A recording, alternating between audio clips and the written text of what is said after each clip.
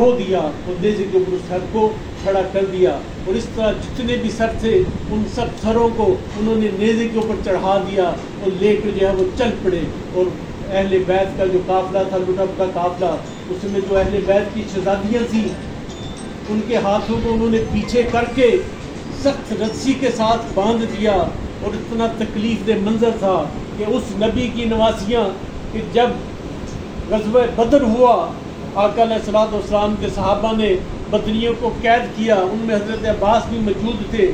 ان کے ہاتھوں کو رات کو باندھ کے جب ان کو مدینہ پاک میں لایا گیا تو آقا علیہ السلاۃ والسلام نے جب ان کی آہ و بقا سنی کہ ان کے ہاتھوں کو باندھنے سے ان کو کتنی تکلیف ہو رہی تھی، آقا ساری رات سوئے نہیں۔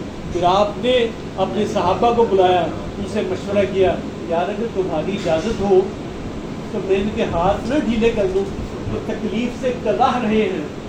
صاحب کہ یاسر وسلم، آپ ہمارے بھائی باپ ہے آپ ہمارے آقا و مالک ہیں، آپ جیسے چاہیں کریں۔ آقا علیہ السلام والسلام نے ان کفار کو جو کفار تھے، لڑنے کے لیے آئے تھے اور مسلح ہو کے آئے تھے اور انہوں نے مسلمانوں کے اوپر مکہ کے دور میں بہت زیادہ مظالم کیے تھے، لیکن آقا کو تو ان کی تکلیف بھی گوارا ہوئی، آقا نے ان کے ہاتھوں کو کھلوا دیا ادھر کربلا میں اہل بیت کی شہزادیاں ان کے ہاتھوں کو پیچھے رسی کے ساتھ باندھ کے ننگے اونٹوں کے اوپر سوار کر کے ان کو جو ہے لے جایا گیا۔ واقعہ بڑا طویل ہے مختصر میں بات کر کے ختم کروں گا۔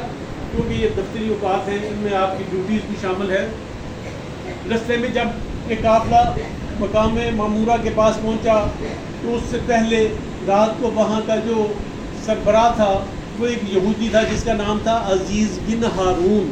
کیا نام تھا؟ عزیز بن ہارون۔ وہ عیسائی تھا وہ یہودی تھا۔ اس کو حضرت موس علیہ السلام رات کو خواب میں آئے اور آ کے کہنے لگے، اے عزیز تمام الانبیاء کے نواسے کو شہید کر کے اس کے امتی ان کے سروں کو لے کے آ رہے ہیں۔ کل تم جانا، ایک تو ان کی خدمت کرنا، اور دوسرا ان کے جو سر ہے، اس کو میرا سلام عرض کرنا۔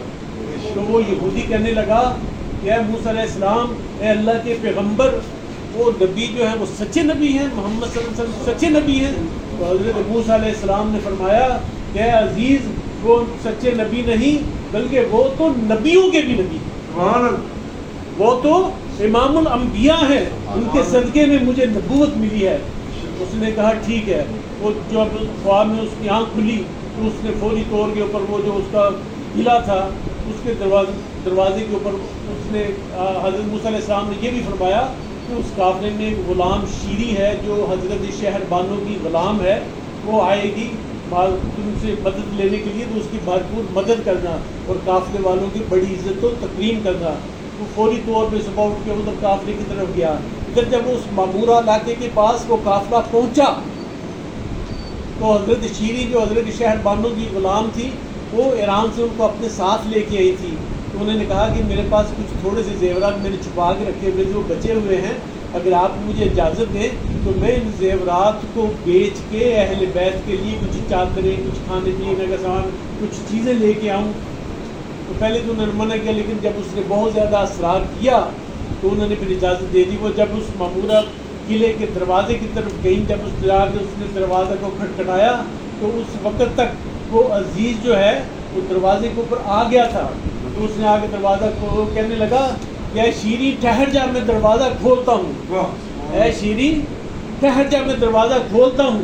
جب اس نے دروازہ کھولا تو وہ شیری حیران رہے گی کہ اے شخص، اے انسان، اے اے ممورہ کے رہنے والے، تجھے میرے نام کا پتہ کیسے چلا؟ اس نے کہا کہ میرے نبی رات کو خواب میں آئے ہیں اور انہوں نے مجھے بتایا تھا کہ شیری آئے گی، تو اس قابلے کی عزت کرنی ہے، احترام کرتے اس نے بہت ساری چیزیں جو ہے وہ تحفے کے طور پر دی۔ اور جو ہے اس کو ساتھ لے کے جب وہ قافلے پہ گئے تو وہاں پہ حضرت امام حسین علیہ السلام کا سر جو ہے وہ نیزے تھا۔ اس نے حضرت موسیٰ علیہ السلام کا سلام جو ہے حضرت امام حسین کو پیش کیا تو وہ جو سر جو کٹا ہوا تھا، اس نے کہا، وعلیکم السلام جب اس نے یہ بات سنی تو وہ یہودی کلمہ پڑھ کے مسلمان یہ کٹے ہوئے سر کا مجرا ہے۔ جب اس سر مبارک کو اس قافلے کو وہاں سے لے کے جب یہ آگے جاتے ہیں تو کوفہ کے دربار میں، کوفہ کا جو قلعہ تھا، وہاں پہ ابن زیاد جو ہے، وہاں کا گورنر تھا، اس کے پاس لے کے گئے۔ تو وہاں پہ جا کے انہوں نے بدتیزیاں کی اور جو ہے، وہ بہت کچھ کیا اور ظلم و ستم کیے۔